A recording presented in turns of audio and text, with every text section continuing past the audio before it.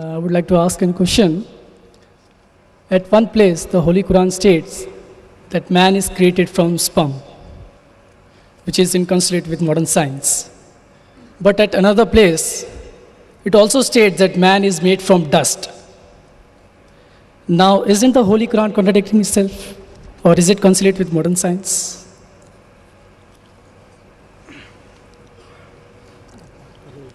The brother posed the question that one place the Holy Quran says that human beings have been created from sperm, which consists with modern science. The other place, human beings is created from dust. Can you prove it scientifically it's created from dust? And isn't there a contradiction? One place sperm, one place it says dust. The Holy Quran does say, as I mentioned in my talk,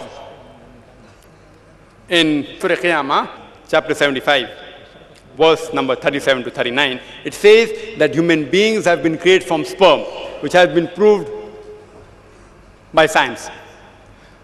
The Holy Quran also says in Surah Hajj, chapter 22, verse number 5, that we have created the human beings from a quintessence of dust. Today, science tells us that all the elements that are there in the human body, they are present in lesser or greater quantity in the soil, in the earth. So the statement that human beings have been created from earth is scientifically proven. That whatever components are there in the human body, the constituent, the elements, they are present in the earth, in the soil, in lesser or greater proportion. The second part of the question, isn't it a contradiction? One place the Quran says man is created from sperm, one says from dust.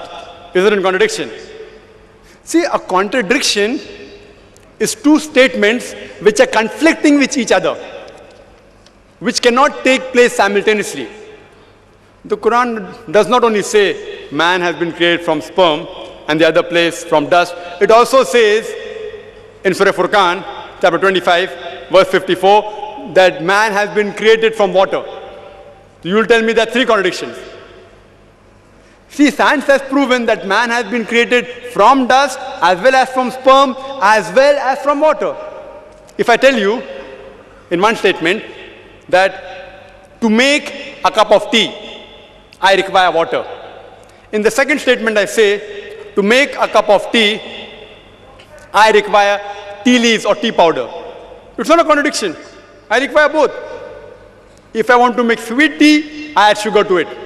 If I want to make panikam tea, I add less water and more milk. If I want to make Suleimani tea, I add only water. So there is no contradiction when the Quran says human being is created from sperm and dust and water. It is actually contradistinction. What is the meaning of contradistinction? Contradistinction means speaking two or more things about a subject which are not conflicting with each other. For example, if I say that this man, he's honest, he's kind and loving, it is contradistinction. But if I say this man is always a liar and a truthful person, then it's contradiction because both are opposing. If it's not opposing, it's called as contradistinction.